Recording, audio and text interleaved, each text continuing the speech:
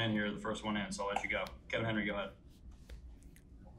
Hey, Austin. I just uh, wanted to get your overall take on the performance today and kind of what you were working on. Uh, yeah. Um, I was happy about it. Um, you know, it was, it was good to kind of get in a little bit of trouble there in the third and have to, you know, get in the stretch and make some pitches with the top of the lineup kind of rolling back around. Um, you know, I felt like I kind of in the bullpen and going out for the first inning, I was a little bit off. My timing was, but I was able to kind of regain that in the second inning and then kind of lost it again in the third inning. But, you know, to get out of there, get out of the, you know, bases loaded jam, tough spot there, no runs, um, you know, it's always good.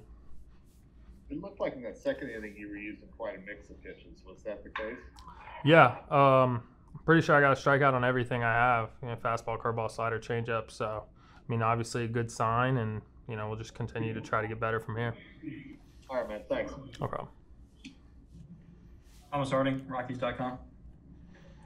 Okay, Austin. Um, first of all, today, as you said, you used a little bit of everything. I mean, it, it just seems like this camp, in some ways, when you've gotten challenged, you've done well. When you've um, when you skated through, that's been good too. Is there anything that's left for you to kind of see before going into the season?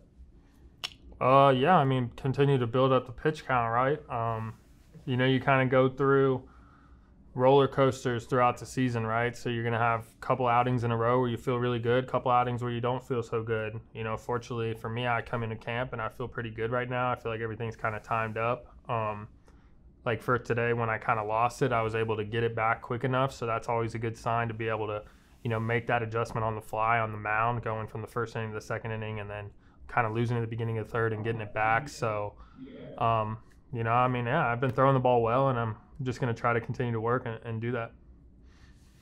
Um, maybe a strange question, but I'm going to go ahead and ask it. Um, looking through, kind of looking through the background here, not a lot of stories have been written about you. seem to have gotten through with um, very little, I, I, guess, of your life. I did read that you like Oreo ice cream.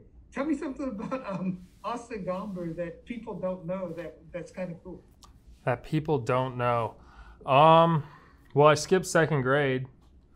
Wow. Yeah, so that's pretty. That was pretty cool. I transferred from like a public school to a private school and had to take like an entry test, and they didn't have any room in the second grade. And I guess I scored high enough to go to the third grade, so that was cool at the time. And then uh, once I got to high school, and everybody, all of my friends had their driver's license, and I didn't. Um, that was that's that was when it caught up with me. Yeah, a lot of athletes they get redshirted a bit, so to speak. You know, they they get held back a year. So, did you always play with um, bigger and older guys? Yeah, uh, I graduated high school when I was 17. Got drafted out of college at 20. So you know, when you're younger, when I was in high school, I kind of like hated it that I was always the last guy to turn 16 and get the driver's license, the last guy to turn 18. But then when I was the youngest guy in the draft for college guys, I was like, oh, this isn't too bad. So, you know, it's had its uh, pluses and minuses. All right. Hey, thank you very much for that. Right. No problem. Hey, Groh from The Athletic. Nick, go ahead, finish that. Yeah, actually, that's fascinating. I wish I could tell you something that you missed in second grade, but I can't remember any one freaking thing from second grade, so whatever. Um, but hey, just with you, it seems like you're you are throwing your full arsenal like you know, like pretty pretty much right away in spring. A lot of pitchers aren't like that. Um, have you always done it like that? And and are you did you were you throwing like off speed stuff before you even got to camp? Uh, yes and yes. Um, I've never been in a position where I haven't been able to throw everything. I've never been in a position where you can come into camp and somebody's like, "Hey, you're gonna pitch this day of the season, regardless of how spring training goes." Um, my mindset's always been coming into camp. You know, I got to win a job. Um, you know, nobody knew me here.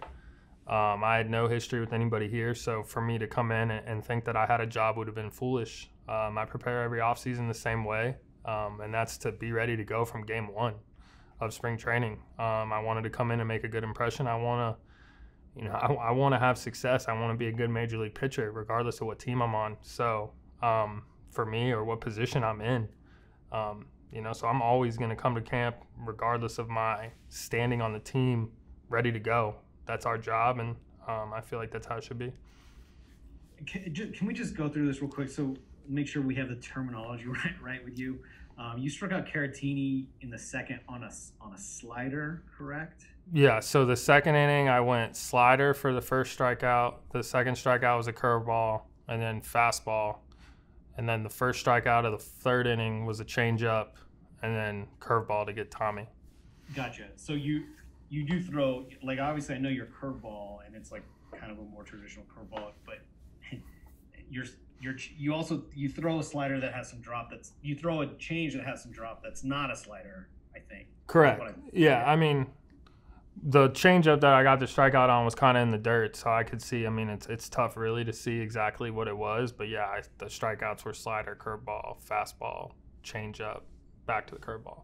Gotcha. And you don't throw any kind of like hard second curve, right? Um, I mean, my slider, I guess, was probably like more of like a mid to higher 80s pitch, where my curveball is more of like a higher 70s pitch. Um, but not like a traditional two traditional curveballs. I have the one, you know, bigger 12 to 6 curveball that I throw a lot, and then kind of that cutter slider after that.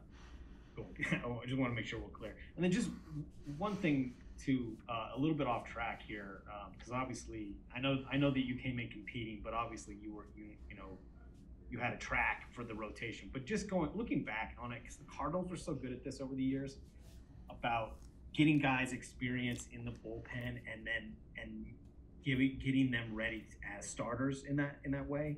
Um, again, a lot of teams aren't, aren't like that. Um, did did you appreciate that that kind of process? Like, w- would you have preferred it any? Best thing that's ever happened to me. Best thing that's ever happened to me. It taught me how to get to the big leagues, how to pitch in the big leagues, how to get outs in the big leagues. It's a lot easier to figure out how to get three outs at a time than it is to get figure out how to get 15 or 18 outs at a time. Um, you know, when you first get there, it's just kind of math. It's just easier. Um, now, over the course of a season, I gained a lot of respect for what relievers do because it's nonstop. You got to come in every single day mentally ready to pitch. So that was an adjustment. Um, everything changed about me. I my stuff got better. Um, I started throwing harder, and it and it kind of stuck with me after I went back to a starter. I'd never seen myself get to that velocity, so I think it's a big thing of like I saw it on the scoreboard, I saw it on the gun, and I believe that I could do that as a starter. Um, so I think that was a benefit. Um, you know, really, I think there's a million benefits to you know debuting as a reliever. Now some guys didn't do it. That was kind of like you know some guys.